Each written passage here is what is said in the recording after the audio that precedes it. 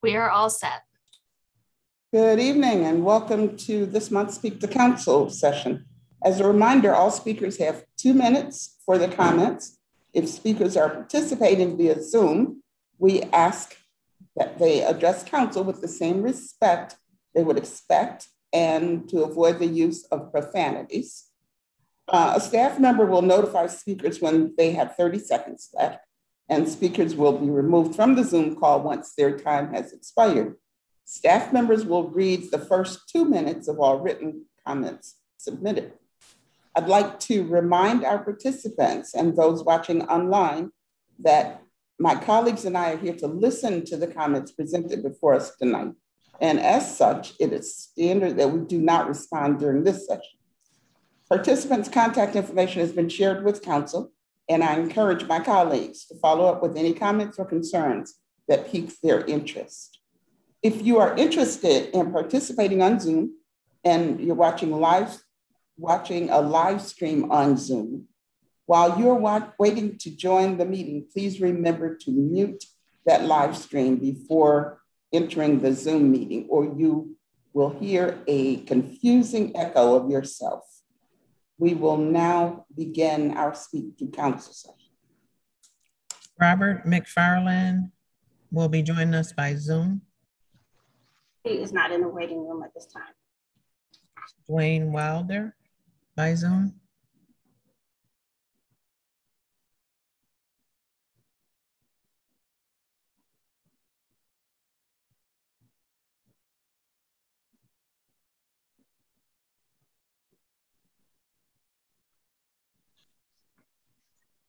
Dwayne, you're up. Uh, you're on mute.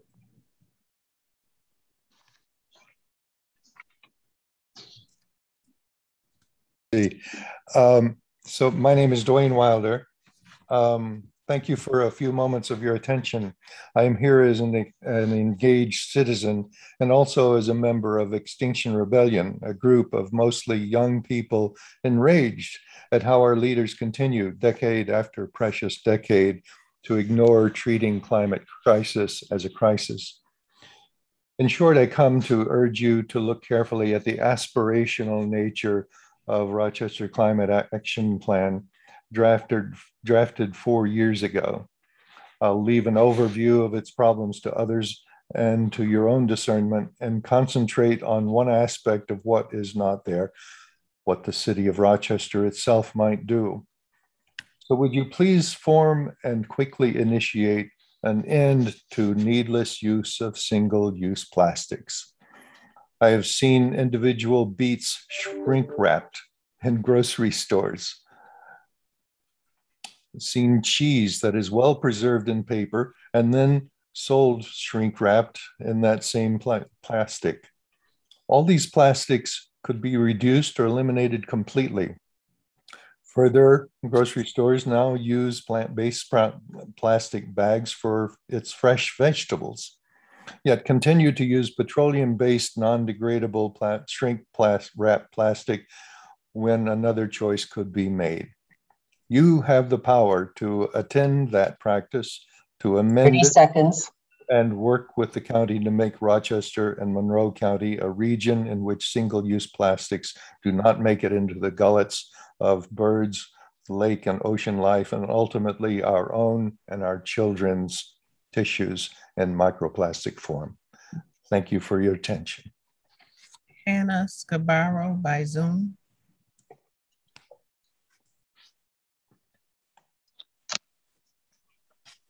Anna?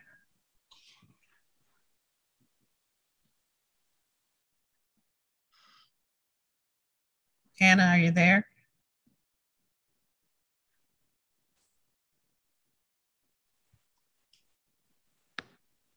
Is Britton Evans on by Zoom? Britton's not in the waiting room. Zoe Markle? I think I was before Britton in the email.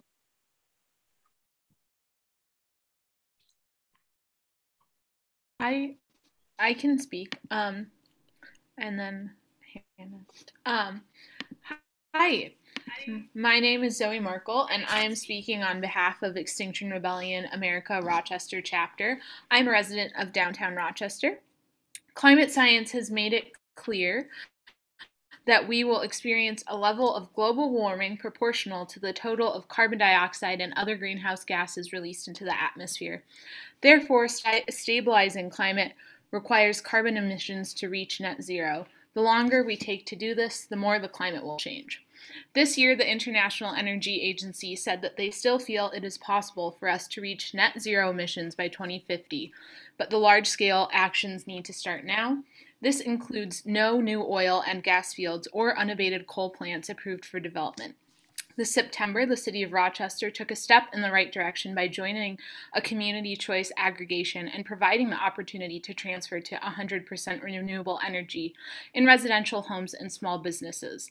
However, in order to make this action as effective as possible, the city should be clear about how many citizens choose to take part in the program and work towards getting those who are unsure about the switch to renewable energy on board. Rochester also needs to be sure that low income groups are not left behind in the switch to renewable energies. In July of 2021, 63,123 people in Monroe County received assistance from the Home Energy Assistance Program, which means at least 30% of the population is unable to participate in the CCA program. As more cities implement CCAs, the City of Rochester can lead by example in an inclusive and comprehensive renewable energy program. As an idea to help families, the city could invest in building more solar, like the 2 megawatt plant they already own, and use it to produce energy in a carbon free way. The City Council should also support the Excelsior Energy Project's 280 megawatt solar farm, as that alone would be capable of powering two thirds of the households in Monroe County. You have already done this once, and we know you are capable of doing it again for a good cause. I would also like to voice my support for Simeon's family and ask the City Council to release the body cam and blue light footage to them. Thank you. It's time, Zoe. Hannah?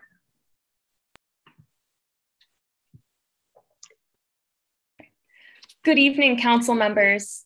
I'm Hannah Scarborough, resident of downtown Rochester, speaking on behalf of Extinction Rebellion America Rochester. We are lucky here in this city, having not yet experienced as devastating and destructive effects of the climate crisis as other parts of the globe, but we are still seeing its effects and we must not turn our heads. The time for action in order to prepare for the climate emergency's more dire effects is now. Rochester is experiencing a dramatic increase in precipitation and flooding, which will only increase rapidly with time. In numerous reports and climate action plans, some dating all the way back to 2011, the city of Rochester has recognized the danger of these weather shifts. Climate plans from 2016 state the measures the city of Rochester is willing to take in order to better prepare for the emergency we are facing, but the city has taken negligible action. Paying lip service to the fact that this is a crisis New York City's severe flooding last month, killing at least 45 people, is a prime example of how close and how devastating the climate emergency is.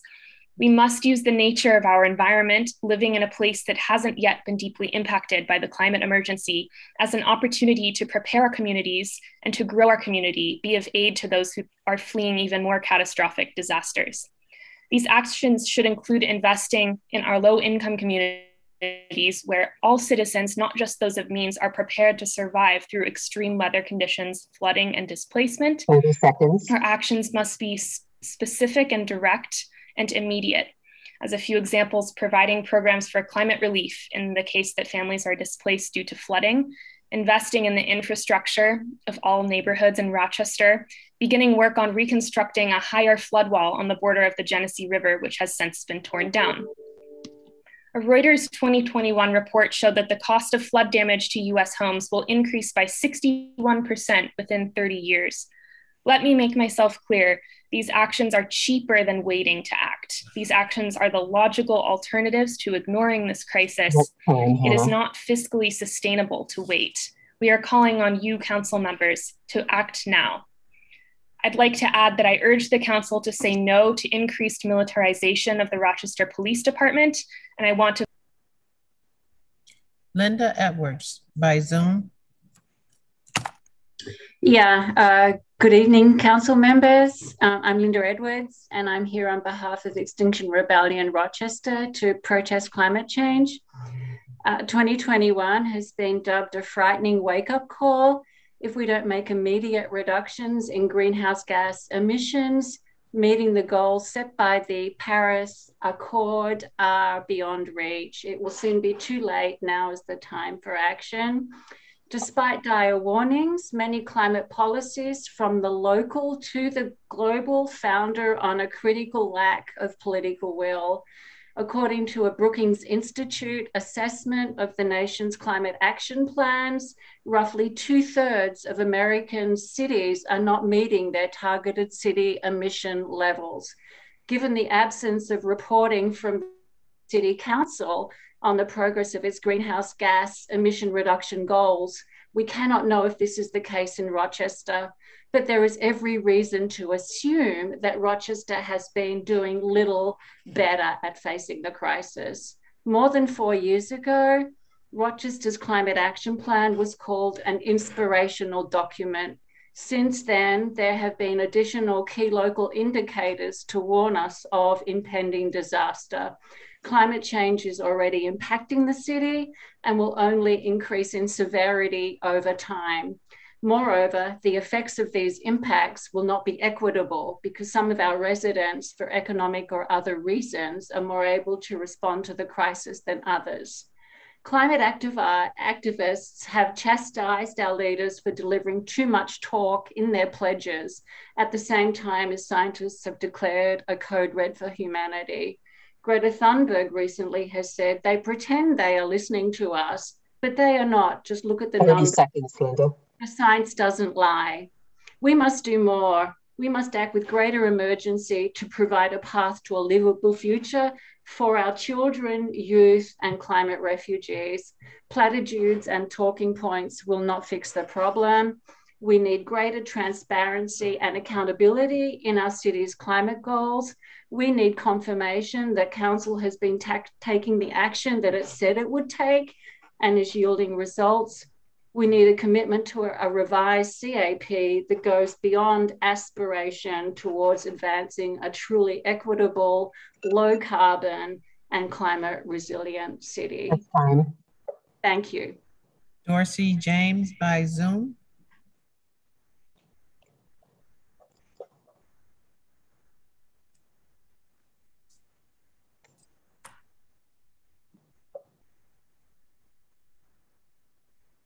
Dorsey?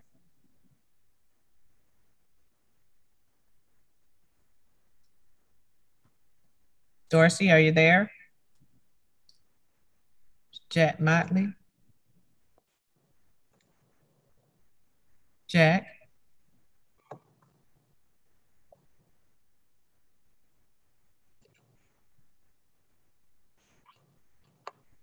Jack, you can go ahead while Dorsey is connecting. You're on mute.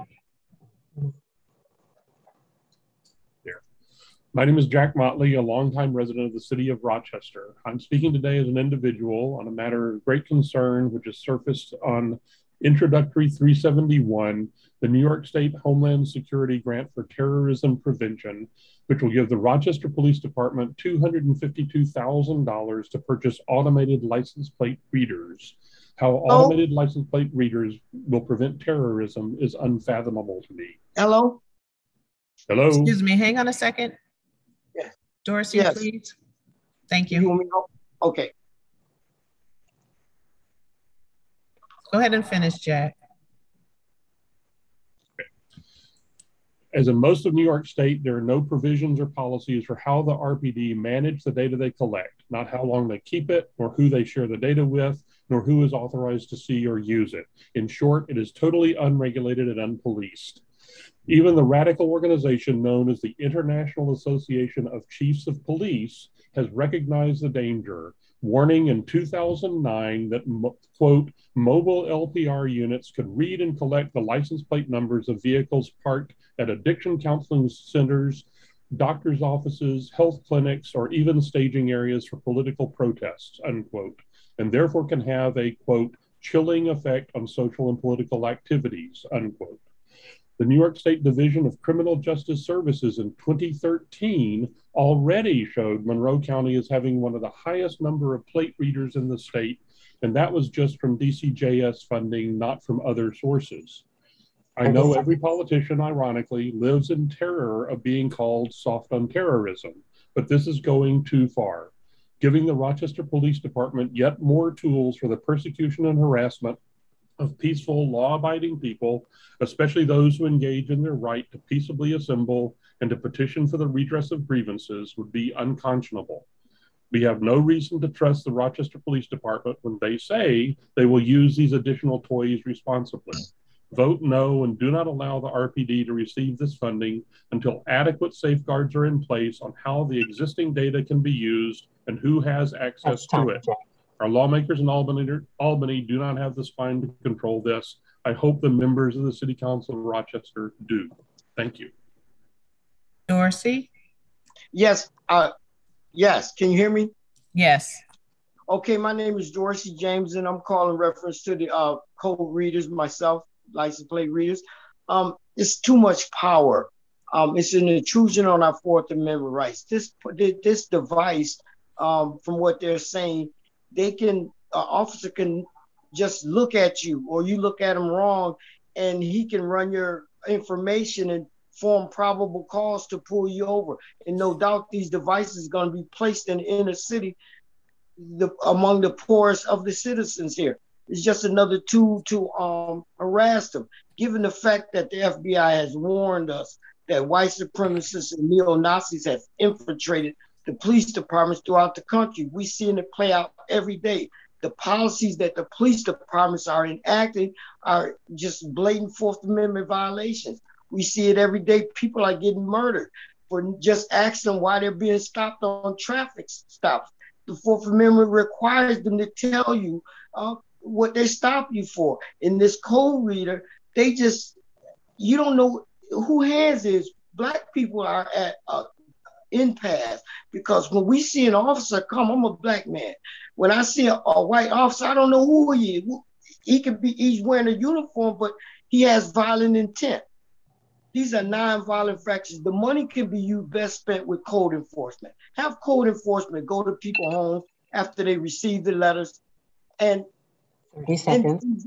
Talk to the people and say, hey, listen, we got to take your place. You can't drive the car because God knows you want to go to work one morning. The police pull you over, just take you out of the car, tow your car. You one paycheck from the poorhouse anyway, and you got to get your vehicle out of tow for for for uh, uninsured vehicle, some money.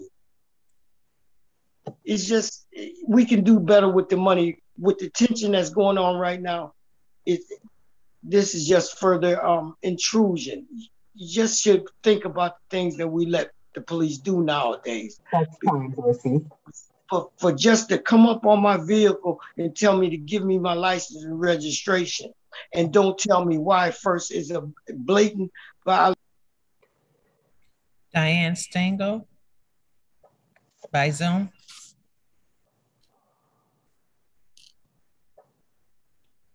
You're on mute. Okay, how about that?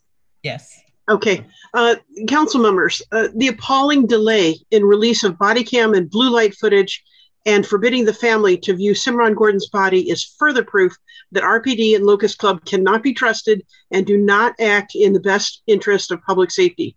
The body cam footage just now released blurs the entire body of Simeon during the pursuit unnecessarily so that we can't tell if he shot at all. Why do you wonder then when the public doesn't want to talk with RPD? Further proof of RPD's untrustworthiness is their efforts to procure automatic license plate readers that will be used to violate privacy rights. There is no policy on the collection, storage, and sharing of the data collected on innocent people engaged in civilly protected activities, such as going to church and meetings, etc. You must vote no on Introductory 371. Housing for all is one of the critical ways to reduce poverty and increase public safety you should immediately opt in to the Emergency Tenant Protection Act, pass the Good Cause Eviction Protection Law, pass the No CFO, No Eviction Law, enact the Rochester Tenant Right to Counsel Law, and repeal the city's luxury housing tax break program, opt out of 485A. Thank you. Robert Lawton by Zoom. Robert's not in the waiting room. Meredith Mock by Zoom. Good evening, council members. Thank you for the opportunity to speak to you on behalf of the Rochester chapter of the Democratic Socialists America about the proposed purchase of new equipment for the Rochester Police Department, including a license plate reader. I strongly urge the council to vote against spending $250,000 to further arm the RPD in its war against the city itself. The addition of a license plate reader to the arsenal already controlled by the RPD is especially troubling. As things stand now, there are no limits on how, when, and where this equipment will be used, let alone on whom it will be used. You must know that this equipment will be used to further terrorize our neighborhoods and crush activism, especially in the week of the brutal crackdowns against protests last summer. You must understand the RPD is not going to be a good actor in this, and it is not a good idea to trust them to use equipment in a way that will best serve the city and its res- residents. Furthermore, this sort of surveillance violates our due process rights and could open up the city to further lawsuits. The city cannot afford to continue to pay for the bad behavior of RPD. As the democratically elected officials of the city, it is your duty to represent the will of the people. As you very well know, this city has overwhelmingly voted to increase the oversight of the RPD and bring a balance of power back into the hands of the people. Why would you vote to give the RPD more money and equipment? Thank you for your time. Tiara Grayson by Zoom.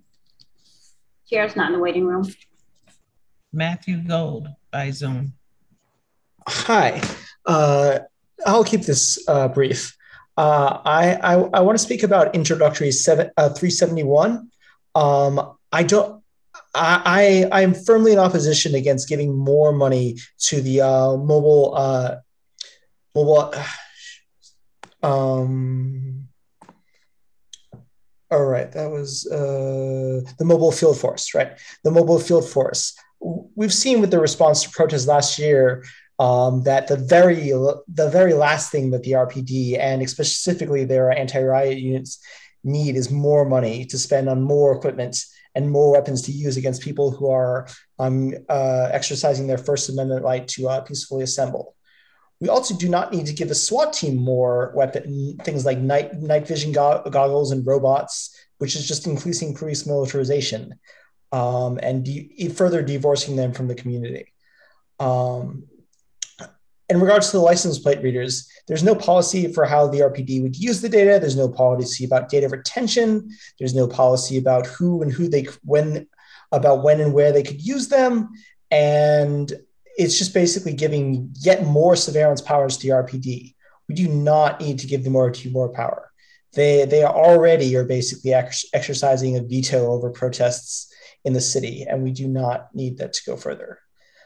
I would, on a different note, I would like to also um, say that um, the uh, body cam footage and uh, blue light camera footage of the uh, incident involving Simeon Gordon should be released um, immediately, and the body should also be released to their family. Thank you for your time. Stevie Vargas, Zoom. Hello, my name is Stevie Vargas, speaking today as a rep for the Working Families Party and the Alliance for Quality Education, but most importantly, as a constituent and resident of the city of Rochester. People in our city are hurting, and City Council should be investing in resources that keep our communities healthy and whole, not surveillance tools that treat working people as criminals.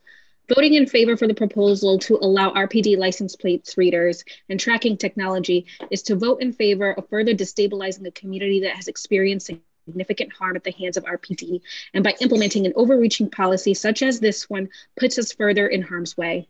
With implementing license plate readers and tracking, how are you to guarantee that undocumented community members who just gained the right to driver's licenses won't be targeted and their info transferred to ICE, triggering a wave of deportations? How can you guarantee that a police officer who may be abusing their partner won't use this technology to track their significant other, making it a hundred times harder for their partner to leave? How can you guarantee that officers won't use this technology to target activists and community organizers who are vocal about police accountability and exercising their right to free Assembly. There are too many questions left unanswered, and to invest in technology such as this instead of investing in resources such as additional mental health supports and other community based initiatives would show where this council's morals truly lie. Vote no on the predatory policy under the guise of anti terrorism.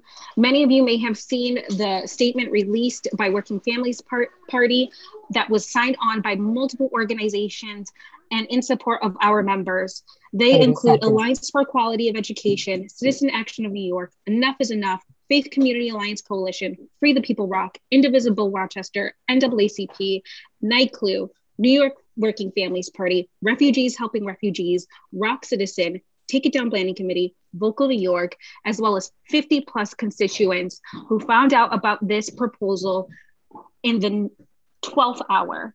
Vote no on this proposal. Invest in the community. Do not allow RPD this technology. Thank you.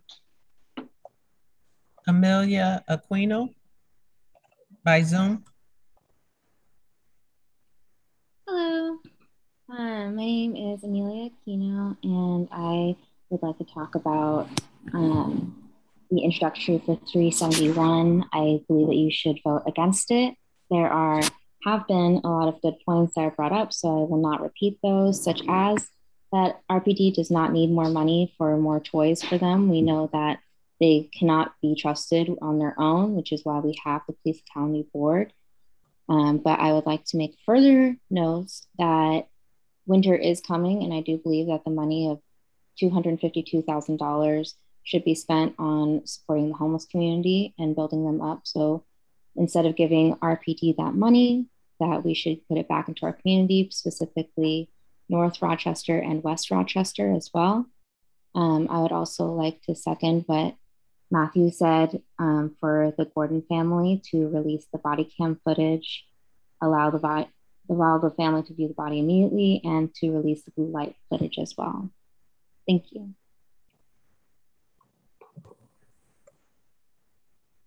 Sorry, Brendan Boner.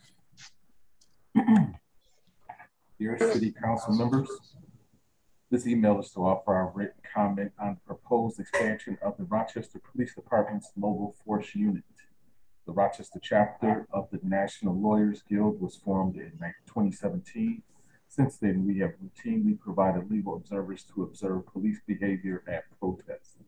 After repeatedly and consistently observing the RPD's militarized response to protests in 2020, we are firmly convinced that no additional funding is needed for the RPD at all. In particular, we object to any additional funding for the mobile field force. It is clear that the RPD is already abundantly well equipped to brutalize and surveil protesters and other members of the community. Night after night throughout 2020, dozens of officers in full riot gear, backed by multiple LRAD equipped trucks, and armed with pepper balls and spray flash bangs and tear gas, responded violently to peaceful protests and targeted legal observers from our chapter. None of that mobilization was cheap, and this could not have been done without RPD already having more than sufficient technology. It is not clear how funds to purchase an equipment trailer, additional license plate reader cameras, and to upgrade vehicles will do anything to increase at all to increase community safety when it's too often law enforcement that has made the community unsafe. We ask that the council refuse to rubber stamp any additional funding for the RPD, particularly when that money is earmarked for technology to increase their ability to surveil and brutalize the people of Rochester, noticeably and particularly Black people engaged in constitutionally protected pr protest activities. In addition to rejecting the funding in question tonight, we further ask that the future council refuse to authorize any spending on other deadly and potentially deadly equipment such as chemical weapons and spit hoods, both of which have been used to inflict tremendous and lasting damage in the community, particularly um, Okay, I'm gonna go back through the A list just to make sure we don't have any of those participants in the waiting room. Robert McFarland. He's not in the waiting room. Britton Evans. He must, Britton must have left. Robert Lawton, He's in the waiting room. I'm letting him in now. okay, thanks.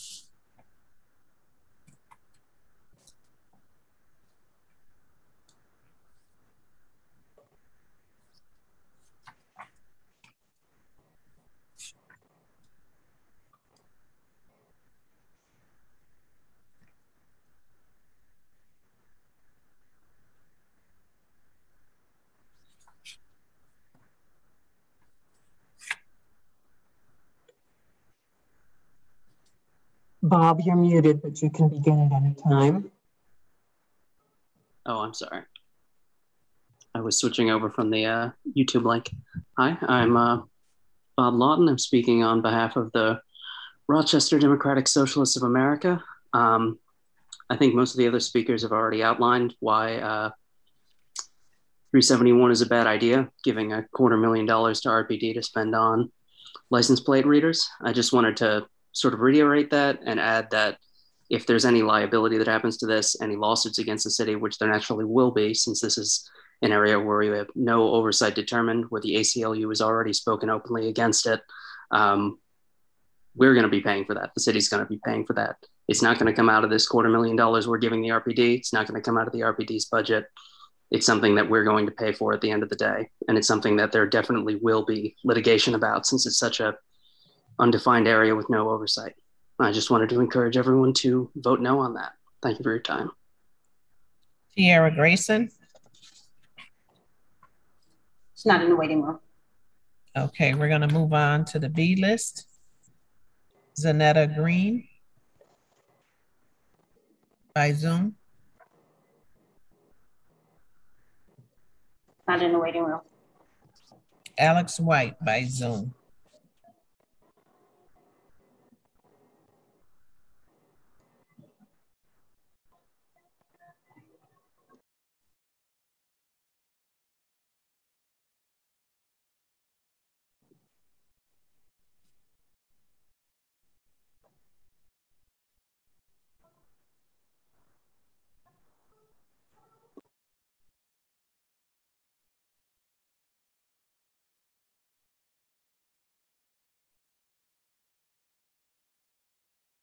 Mr. White, you're up.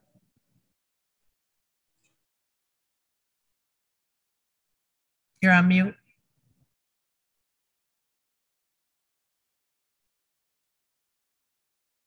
Alex, you're on mute.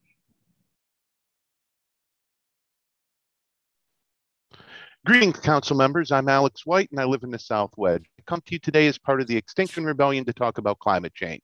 Now, I know that all of you believe in the dangers of climate change. Just four years ago you passed a climate action plan, but since then you've done little on that on this problem. One of the many things that could make a big difference is switching your fleet of vehicles over to electric.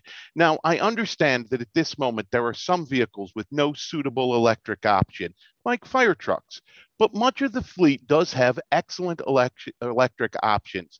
Particularly, many municipalities are already starting to switch over their police cars to electric. You may remember back in June, you authorized a purchase of 30 Dodge Chargers uh, for this purpose for $1.3 million or more than $43,000 a car. Over the lifespan of these cars, they will put more than 15 tons of carbon into the air. Tesla makes a police car variant of their Model 3 starting at 36,000, which is only slightly more than the base model of the Dodge Charger, but puts zero carbon in the air. Of course, you would need to get chargers for these vehicles, and that would make them cost a little more. But even with these extra costs, Bargersville, Indiana is expecting to save $6,000 per car in the first year alone. New York City bought the more expensive Tesla Model Ys, but still expecting to save $8,000 over the operation cost of a Dodge Charger over the next five years. This will, uh, uh, there will even be more savings because electric cars cost less to repair, spend fewer, spend more days in service, and will last longer. Tesla isn't even the only option. Volkswagen ID4, Nissan Leaf S Plus, Chevy Volt are all cheaper options being used by departments all over the world. The cost savings alone makes this an attractive option, is even with the Tesla Model 3, some departments are saving more than $20,000 over the life of this car. So I'm asking you to make sure that all future police car purchases are electric, is it will save the taxpayers money, help save the planet. But don't do this because I'm asking you. Do it for your children and grandchildren. They'll thank you.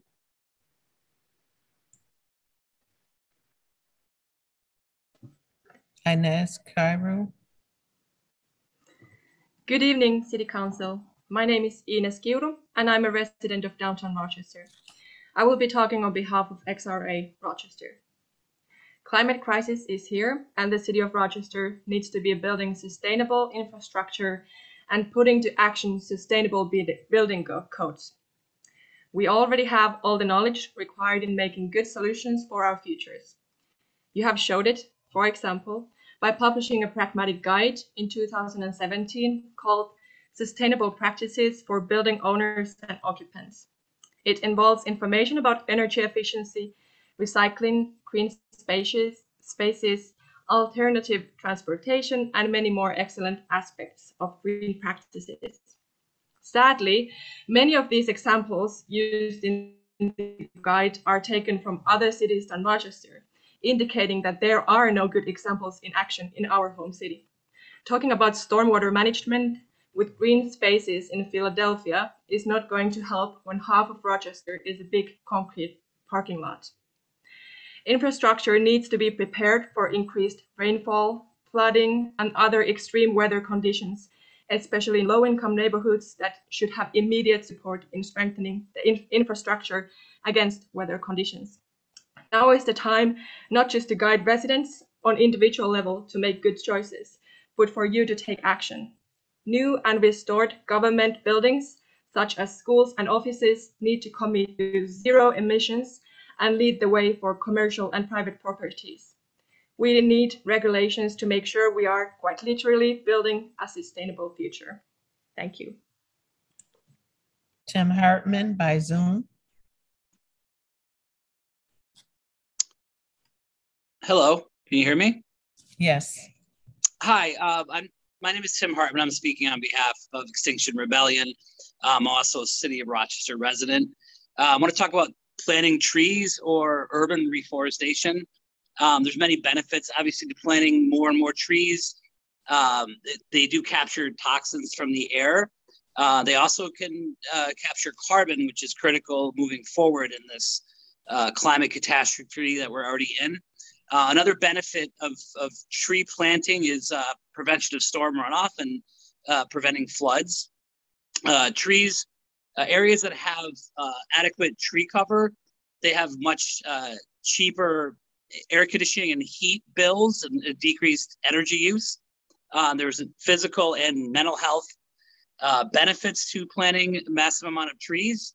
1,200 people die annually from heat-related deaths. And again, those mostly come from areas without adequate tree cover. Uh, if you look at a heat index map, you see the heat emanating from areas that are the most impoverished. It's like a pretty strong correlation between poverty and lack of tree cover. Um, so the inequity is very pronounced in our city. I believe that we can create jobs by planting more trees in areas that are most impacted, communities that are most impacted, reduce heat related deaths, reduce asthma, and most importantly, create jobs for those most uh, people most impacted. And reforestation is happening right now in the country, in the suburbs, but not in the city. We need more trees in the city, um, especially in impoverished areas, vacant parking lots. And I would also say that we don't need uh, more toys for the RPD. We need more trees. So thank you for listening. LeBron's Mays by Zoom. Not in the waiting room. Alyssa Johansson by Zoom. Hi. Okay. Why don't tenants have any responsibility to maintain a clean home, not getting upset, upsetting neighbors, or not damaging the property? Here's what Joyce has to say. My name is Joyce Marble Van Orsdale, and I reside at 165 Katy Street. I've been a resident on the street and it's, I, I love this area because all the neighbors get along and um, we all try to take care of each other. However, since the pandemic has started, uh, the landlords uh, have really had a very difficult time trying to control their tenants. We've had shootings, we've had fights, we've had many, many different people come into the neighborhood just destroying things. Uh, we've, we've, we've had um, other things going on also, including trash that they can't seem to get into the garbage can, um, and it's going all over the neighborhood. Um, some of us have gone out with our shovels and brooms and things and cleaned up um, and, and gotten stuff cleaned. Um, I think that it's it's about time that these landlords be allowed to evict those tenants that cannot, will not follow any of their directions. And we have also worked with some of the landlords um, who have given us their telephone numbers and said, okay, give us a call, let us know what's going on. It's really a shame when you get a good neighborhood that it goes down so quickly.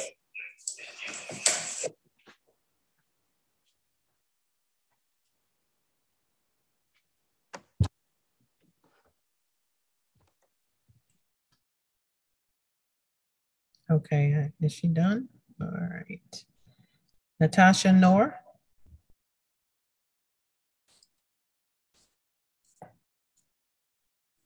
She's not in the waiting room. Okay. Christine Sabilio. Zoom. She's not in the waiting room. John Capusta. Zoom. Hi, um, my name is John Capusta. I live in the Cobbs Hill neighborhood of Rochester, and I want to add my uh, support to much, all that we've heard about uh, the importance of working for climate justice and for just public safety policies. But I'm here tonight to urge the City Council to act on behalf of the recently closed Carlson YMCA to preserve this vital community resource and to ensure the well-being of all Rochesterians, which is, I think, one of the most important functions that the City Council plays here in our city. Since it the Carlson Y downtown closed, it has been deeply missed. On a personal level, my family and I benefited so much from this facility. It's the place where my kids had their first swimming lessons. It's a place where, when we were new to Rochester, we met other parents of young children. And it's a place where I exercised every day before work. Um, but I also saw that it was a place where uh, people from Rochester came together. Most important, supporting and acting on behalf of the Carlson Y is an issue of equity. We have seen already uh, so many resources particularly for health and fitness, diverted away from downtown. And so I urge the City Council again to integrate plans for health and fitness into its um, plans for the for economic development in the city, um, and to support the health and equal access to health and fitness for all people in Rochester by acting on behalf of the Carlson YMCA. Thank you very much. Nita Brown by Zoom. Nita's not in the waiting room. Christina Das by Zoom. Not in the waiting room. Jacob Thorpe by Zoom. He's entering right now. Thank you.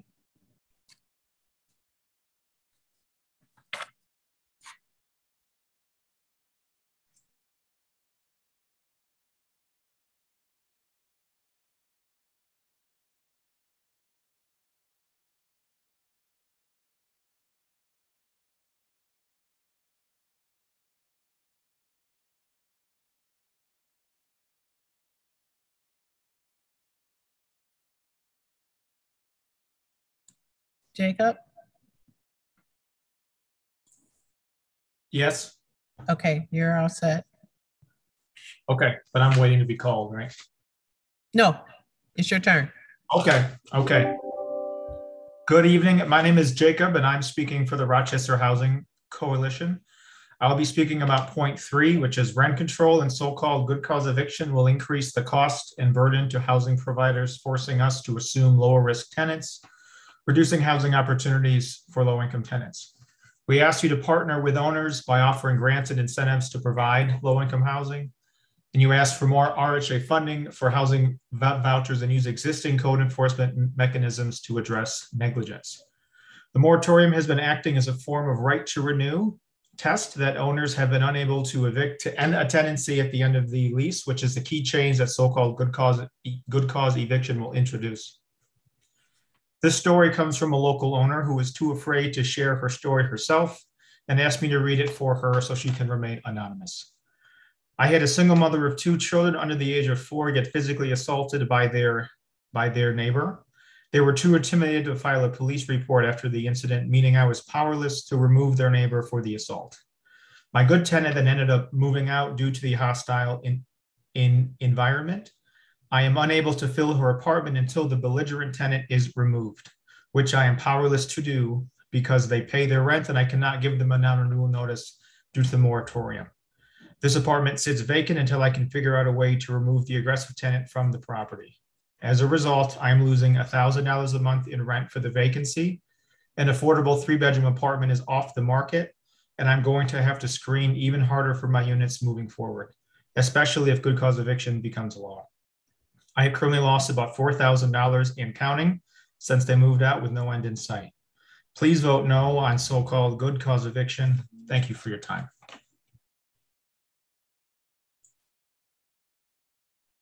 Valerie McPherson. As downtown works to rebuild community and purpose, it's ironic that the Y, which is supposed to be community oriented, would lead.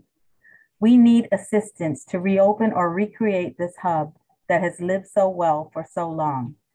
I have been a member of Carlson for almost 30 years. Like others, I was shocked to receive a letter saying that my Y had closed. Not even a letter warning this might happen, just a dead on letter offering no options, not asking for input. Carlson has been the most diverse and supportive Y.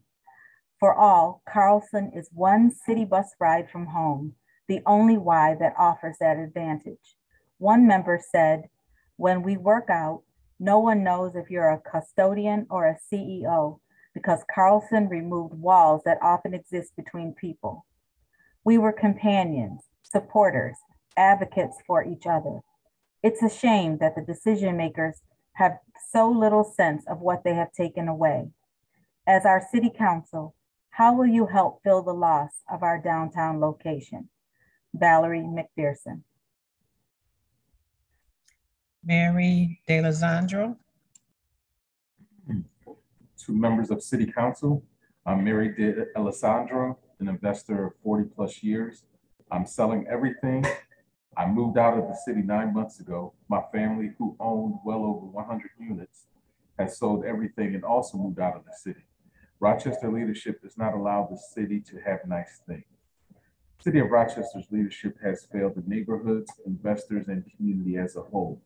Neighborhoods are unstable and unsafe with drug dealing, gunshots, stabbings, and carjacking. People are afraid to go outside.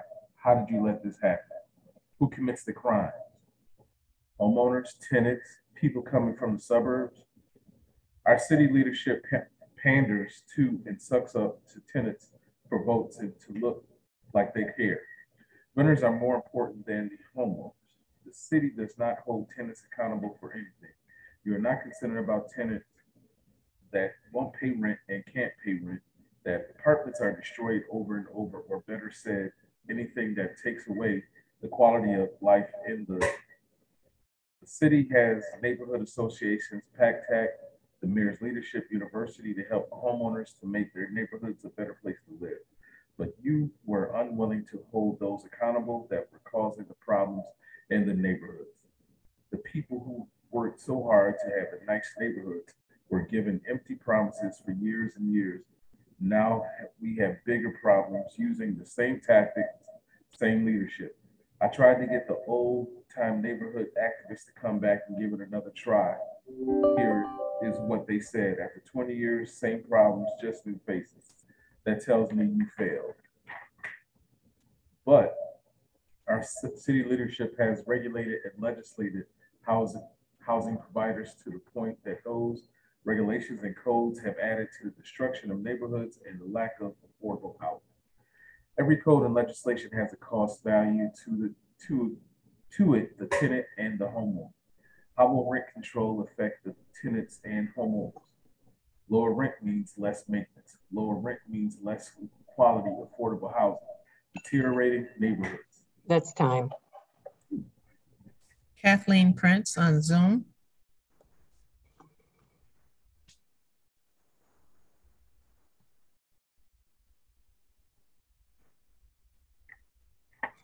Kathleen, you're muted.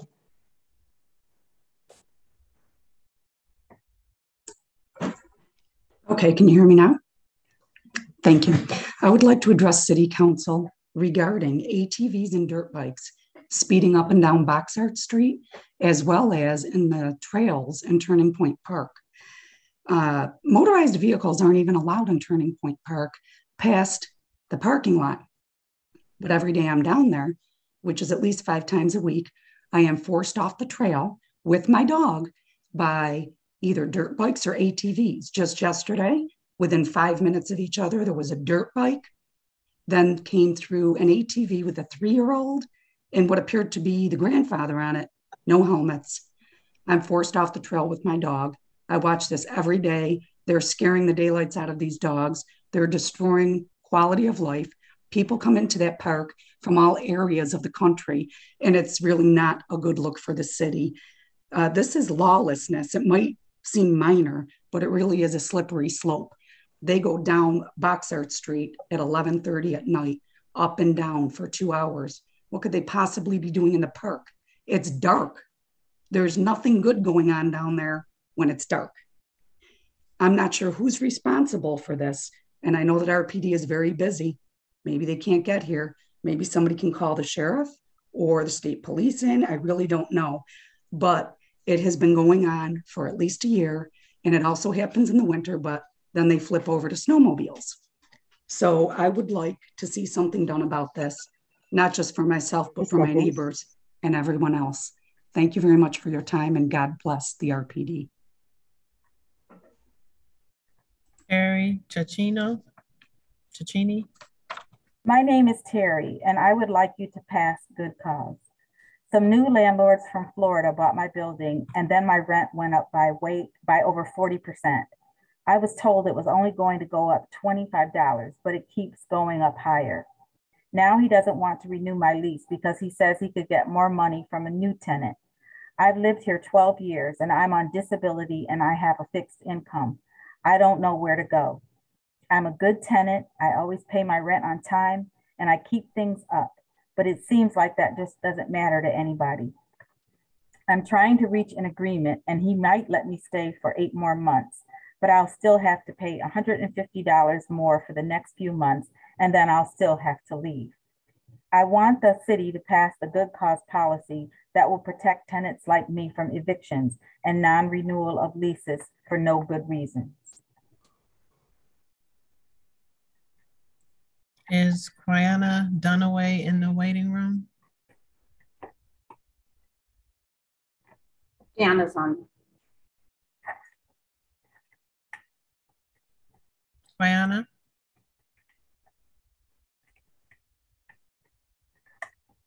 Yes. It's your turn. Good evening, Council. I am here to speak about the Good Cause Protection Law. I'm just going to give you a little detail on me. I am Kiana Dunaway, a resident of Rochester, New York, that is currently um, facing eviction. My eviction process is being because of being uh, withholding rent from my landlord. My property is very damaged. I've been staying at my home for five years. I've been asking my landlord for over a year to fix the damages on my property. Instead, he decided to take me to court for eviction with the good, good the good cause protection that will help it would help a lot of tenants of Rochester, New York, to for they would not have to face retaliation from our landlords. It will also stop the rent increase. I mean, looking for another property right now, the rate is sixteen to eighteen hundred um, dollars of, of for rent. We are also trying to be able to let the tenants be able to renew their leases if they was wanting to do that. I have water damage in my property. I have holes in my walls that's not caused by me. We have mice and roaches running around the property. The, the, the landlord is not trying to send land uh, maintenance over there. I have called the city and we have a lot of inspections done. We have a lot of violations on not only on my my home, but on all of the units that my landlord, Tall Levely, owns right now. We need this good cost protection to be put into place right now. We needed the good cost prote- eviction protections to be put in place four years ago, uh, City Council. I need you to listen to, to what we are what we are going through right here in the city of Rochester, with people being eviction. This this will protect a lot of people from being put out on the streets. Not only to be helping them with not being put out on the street, we need protection from our landlords as well. Um, we need people to know that our landlords is not going to be able to put us out just because they don't want to fix anything that's in our property. Thank you. Okay, Madam President. It is 732. Yes, we've we've run out of time for this session, but for anyone who's left on the list, didn't get a chance to speak, they're welcome to uh, speak after the full council meets. That's an option. Or they can come to next month's council meeting and we'll put them at the top of the list. So we're going to break momentarily and prepare for our full council meeting. Thank you.